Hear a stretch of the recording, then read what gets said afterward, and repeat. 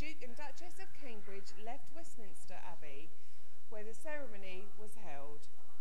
Thousands of people have gathered on the streets of London to celebrate the royal wedding. William and Kate are on their way to Buckingham Palace. Within a few minutes, they should greet